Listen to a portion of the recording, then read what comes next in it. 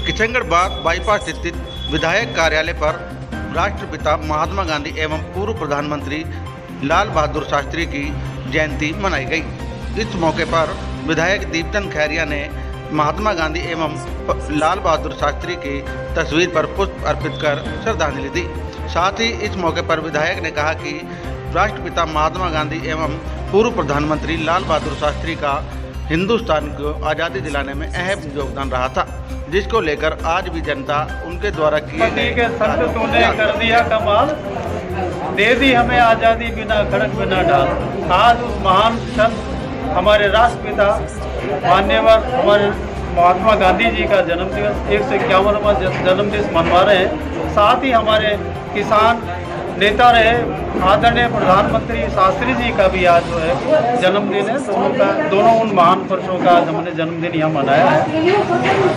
राष्ट्रपिता महात्मा गांधी ने ऐसे हमें शिक्षा दी कि शांति से चलना, शांति का मार्ग अपनाना और उसके से देश को जो है उन्नति को ऊपर उठाना एक उनका मुख्य उद्देश्य रहा।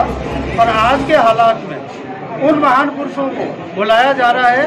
सरकार जो भारत सरकार को इतना हालात खराब कर दिए हैं कि उन्होंने जो सत्तर वर्ष में इन महापुरुषों ने, जो कांग्रेस सरकार ने हमारे देश को जो बड़े बड़े चीज़ें दी बी दिया, हमको आई आई टी कॉलेज दिए, हमको हॉस्पिटल्स दिए, उन्होंने हमको और एम्स जैसी चीज़ें हमको दी।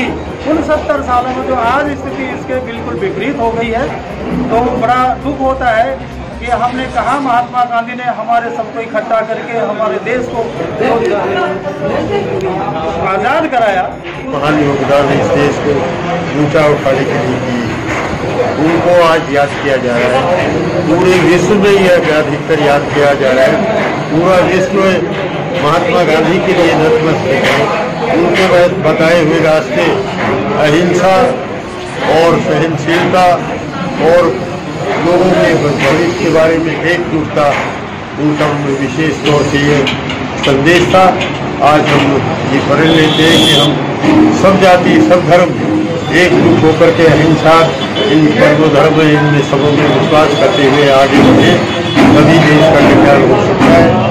इसलिए मैं आसान विश्वास करूँगा कि इस अवसर पर हर व्यक्ति का दिमाग निश्चित तौर से उनके आदर्शों की तरफ़ उठेगा और उनके आदर्श बताए हुए रास्ते, उनके बताए हुए रास्तों में चल करके इस देश मजबूती की दिशा में आगे बढ़ बढ़ेगा